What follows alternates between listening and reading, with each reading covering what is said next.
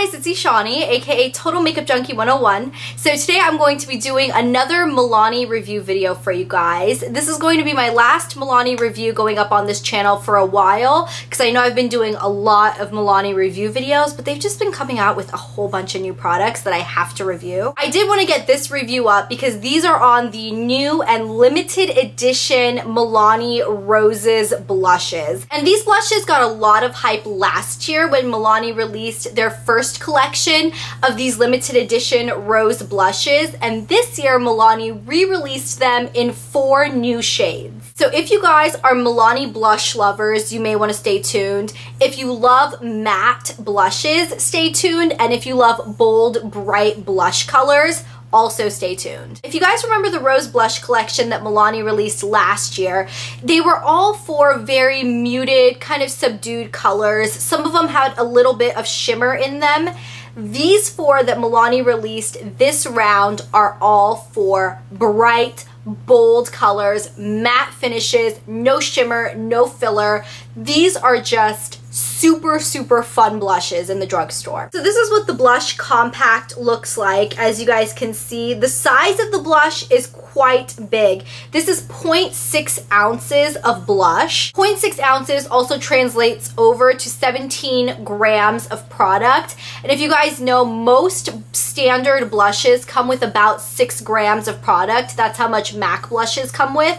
So this one being at 17 grams is almost triple a MAC blush. These blushes retail for $7.99 a piece, which is an amazing price for quantity ratio because you are technically getting three times the size of a normal standard blush. I think the biggest selling point to these blushes is the fact that it has this beautiful embossed rose design on the top. It is so, so beautiful and it's almost just like a showpiece piece or like a collector's piece in itself. While these blushes are limited edition, I have seen the display of these at my local Walgreens and CVS stores.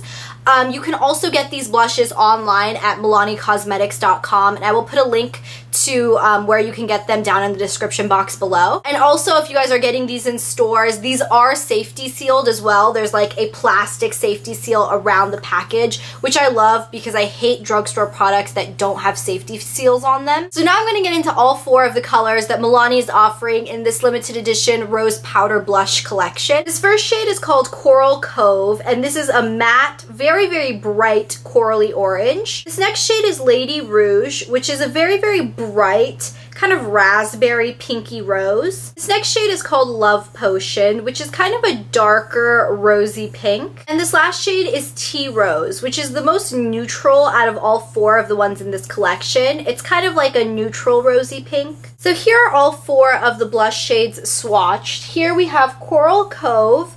This one is Lady Rouge.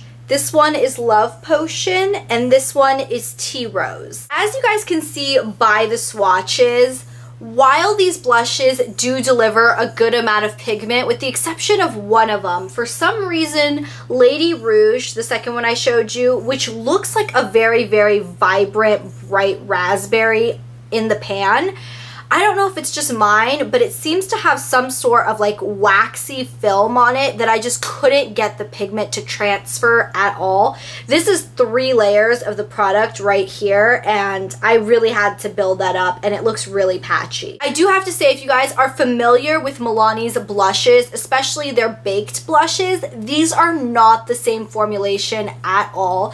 These are very, very much more dry. They're not as creamy and they're not as pigmented. And the only problem with these powders being kind of dry is that they tend to get flaky and they tend to kind of be patchy when you apply them. So if you're applying them on skin that's already pretty dry, for example, my hand is pretty dry, they kind of get patchy and they kind of catch on like your dry patches in your skin and they don't transfer there very well. So that's kind of annoying. If you have particularly dry skin and you're trying to apply these onto your cheeks, I can only see it going so, so badly because they are so powdery and patchy and dry. I just, I'm not a huge fan of the texture of these. I find that pretty unfortunate because Milani has blown it out of the park with some of their blushes before Like I said, their baked blushes have only impressed me in the past. They are flawless blushes, incredible incredible textures,